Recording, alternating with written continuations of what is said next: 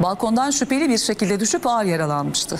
Olaya ilişkin dava süreci başlıyor. Rusya'da kısmi seferberlik ilan edildi ve sonrasında ortalık karıştı. Ülkeden çıkan çok fazla kişi var. Açmak istemeyen Ruslar Gürcistan'a geçmek için sınır kapısına akın etti.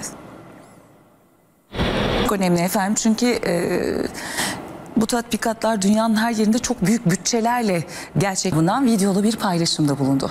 Konuşması sırasında masada yer alan Ziya Gökalp'in kitabı ve tesbih dikkat çekti.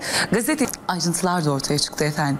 Torba yasaya yaklaşık 164 bin engelli ve yaşlı vatandaşın 566 olan Suriyeli göçmen sayısını açıkladı.